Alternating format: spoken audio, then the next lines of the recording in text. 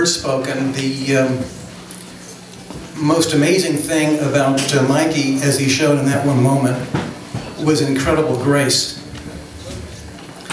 And so when I was thinking about what I would like to do to uh, uh, to honor his memory and to be um, here with you guys to help uh, do that,